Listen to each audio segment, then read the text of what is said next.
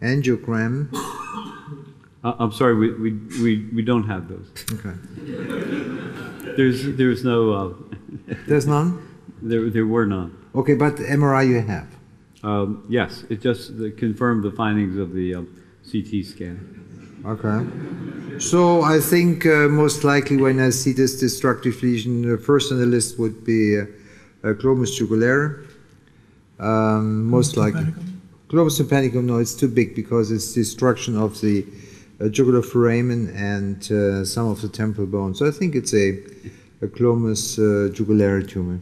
And um, would you biopsy this? No, no way, no way. I think this. I know you're a very courageous surgeon. Wouldn't you biopsy? No, no, no way, because there's a clinical diagnosis. Uh, You get an MRI and you have your diagnosis. Yeah. Professor Gleeson, you look skeptical. Well, I wasn't convinced the jugular bulb was eroded, actually. I'd have thought at the age of 82, it's a l- rather le- uh, old to present with a glomus tympanicum. I think that's intact, isn't it? Although I think you'd probably want coronal sections Well, to be sure. Ju- Jugular, jugular foramen, for, this is not, this is not intact. You know, this is a bone dissolution, bone erosion posteriorly. You can see it better in back of you because it's a larger uh, image. Pointer, maybe I can show you. Well, well, I, I, um, I, you go. I have some, Yeah, I have a little bit of doubt about that. And um, I must admit, if I had a lot of doubt, and she'd uh, and she'd passed the rest of my physical examination, I, I, I wouldn't be that worried about taking a, a small piece of tumor out and have a look down the microscope. I think that I don't think that would cause a, a, a panic in the blood transfusion service. No, but I think it's not going, Michael, I'm not going, I don't think it's going to change your treatment was just going plan. to ask, what's the purpose of the biopsy? Yes. Well, what if it was metastasis or, or something else What's the purpose of the biopsy? to see what it She's is? 82 years old. Which might be a very good 82 year old. Because if it's, a, if it's a metastatic malignant tumor, you're not going to operate That's on correct. it. No, at least I'd know what it was. Professor Bootz? Yeah, I think uh, we also have to consider uh, differential diagnosis. I think it's probably not a glomus tumor. I'm not. I'm not very sure um, because of uh, the, the shape and. Um, I, I rather would uh, agree to Michael's uh, um, suggestion to take a small biopsy, and uh, I think it will not end in uh, disaster. How and about- we, we see what, what it is. Sure. Could it be an But aneurysm? Um, No, Aneurysm? not, No. not with this, no, no, No. that's not aneurysm, no, no way.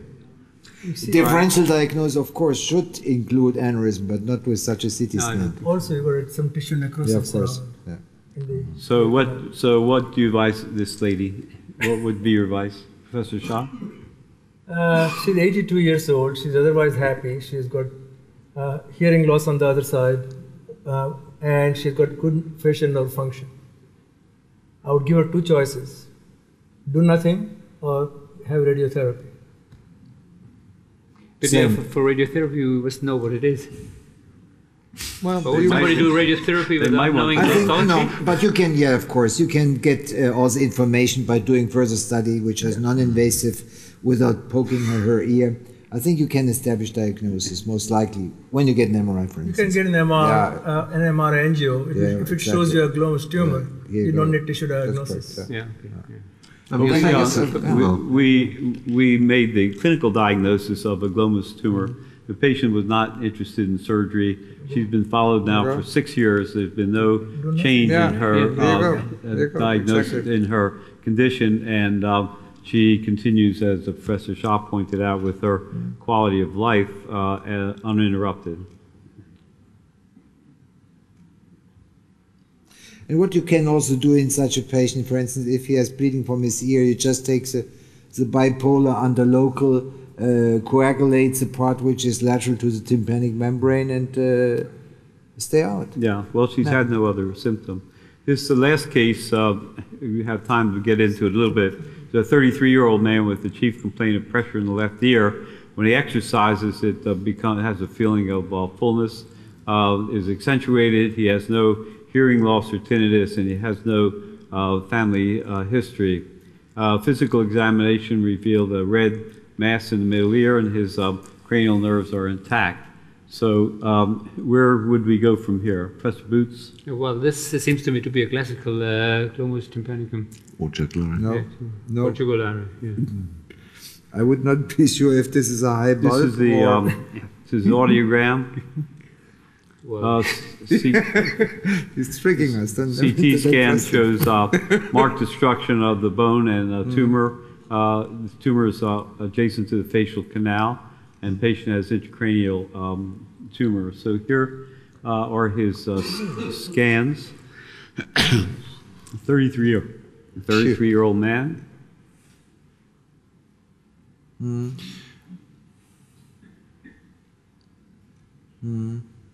Differential diagnosis, Professor Gleeson. Well, that looks very much like a glomus jugulare tumour. I didn't see the intracranial element. I have to say, I saw the erosion of the jugular bulb, and it wasn't extending as well. It was extending up to the vertical segment of the carotid artery. So, I'd get an MR scan, I'd get a PT, uh, a PET. I'd be doing a CTA to see whether the circular bullous was intact, but that looked like a, C, C2 or C1 tumour to me. What do you think, Wolf? I, I'm not sure. I have seen also, um, well, uh, maybe it's it's it's a, a, a rare bird, but I have seen also um, endolymphatic sac tumors, which look exactly similar to this.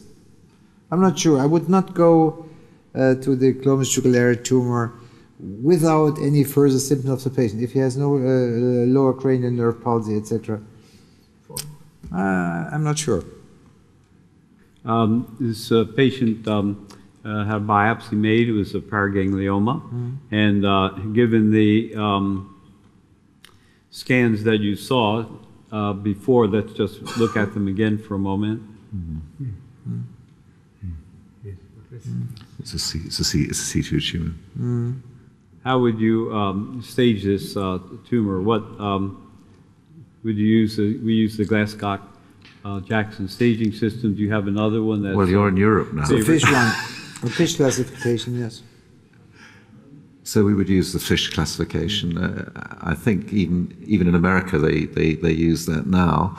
Um, but essentially it would be staged according to the extent of the tumour from the jugular bulb along the carotid artery towards the foramen lacerum. So if it wasn't involving the vertical segment, it'd be C1. If it was involving the vertical segment, C2. If it was involving the horizontal segment as well C3, it was going through the foramen lacerum, it would be C4. And then you'd have a D classification according to whether it was DI, intradural, or DE, extradural. And that looks like a C2 tumour to me. So what would you um, uh, offer this patient? You I know, do an inf- he's a th- young chap. I'd make sure he hadn't got any other disease with a PET scan, uh, and I'd do an infratemporal fossa resection using the infratemporal fossa A type approach, which I which I demonstrated, and he'd have a good outcome. How would you And, uh, counsel and, a uh, patient about um, about uh, cranial nerve, um, possible cranial nerve damage? Well, he's got about a 30% chance of having a vagal palsy. He'll almost certainly have some degree of facial weakness after transposition, which should recover to normal or near normal within 6 to 12 months. He'd have a glossopharyngeal lesion from the fact that that usually gets uh, transected as you uh, remove the jugular bulb from the uh, skull base, but other than that, he should be intact. And he'd have a conductive hearing loss. Professor Mann, is there any uh, Well, any would- role for non-surgical management in this case? No, I don't think so. Two points I would stress. Number one, this would uh, this man would get a a um, genetic examination, or, uh, and if he's positive in about in our series of um, 120 patients I've operated, about 25% had uh, genetic defects as we can diagnose by today. Number one. Number two, I would operate him also. I would do it uh, without um, uh, rerouting the facial nerve. Um, I would use a juxta uh, approach. I would not sacrifice the middle ear if I can. And uh, I think this is uh, uh, rather possible. We have modified a little the technique which was described by Fisch uh, by this approach, which was described by uh, Georges from Paris, the neurosurgeon, and coming from posteriorly and um, inferiorly, and then picking up a technique which was described by Glasscock, just um, going directly in front of the facial nerve and not really leaving the facial nerve in its enti- entire uh, bony canal and drilling down to the internal carotid artery. Gives you good functional results and allows you to preserve hearing. And how about reconstruction? Well, I would, uh, very simple, I would use uh, free abdominal fat and um, that's it. Any role for uh, any other uh, adjunctive uh, therapy here? No, not in my, not in my opinion. I think you know, for me to o- operate on this patient, I want to show whether that this tumor is growing. Because many of these tumors will remain stable for many, many years. This is the first time we are seeing a 33-year-old lad, and I don't want to give him 9, 10, possible 7 palsy. He may be a young working executive, and his life is going to be short for a period of time his activities are going to be short for a longer period of time, and some components of his cranial nerve function will be short permanently. So I need to have a reason to uh, have a good indication to operate. So the first time I see the patient, I would say, come back and back. s- after I get good studies, come back and see me in six months. I'll repeat the studies. Because these tumors grow at a rate of about a millimeter a year. So they are not going to blow out of his head. If I show significant growth, then I have an indication to operate. Conversely, if his tumor remains stable for the next 10 years, I've given him 10 years of good cranial nerve function without making him morbid. Mm. Yeah, I think, uh, Jatin, your point is well made, and um, but um, two things speak against it. Number one, uh, he's a young man. Likelihood is very high that he's going to grow. Number two, what do you do if he's radiologically not growing, but he comes back in half a year has a, a vagus nerve palsy or glossopharyngeal nerve palsy? That's a sign of growth. You go back. Yes, but you know they are not going to recover. Right. Yeah, that's a problem. I, I have seen these patients where we do wait and scan, and suddenly they come bingo, uh, facial, uh, vagus nerve. They start to become hoarse. So I don't- I'm not sure if uh, if uh, just imaging alone gives you an indication of. Um, uh, I think it should also Well, imaging include and obviously clinical for, for clear, of course, neurologic. I think it's. Sure, I ju- just wanted to make the point that Yeah. uh, you cannot rely. On No, no, on not only imaging. imaging, Okay, obviously. Con- okay, surveillance implying course, clinical and, good. and imaging.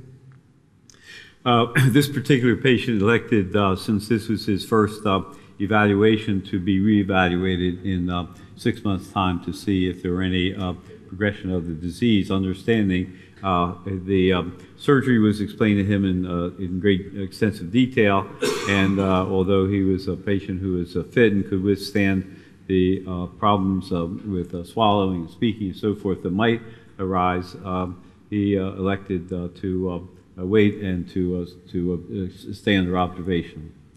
So, um, uh, and we also uh, carried out uh, uh, genetic uh, testing uh, on this patient. He had no history himself or in his family of other people with uh, uh, possible uh, paragangliomas, but nevertheless, he uh, went through uh, testing in our institution for the SDHD gene for uh, para- uh, PGL1 uh, syndrome was um, uh, negative. That doesn't mean it'll always be negative, but uh, uh, we uh, strongly uh, uh, suggested that all of his uh, uh, siblings and uh, children and so forth be tested for the same uh, gene.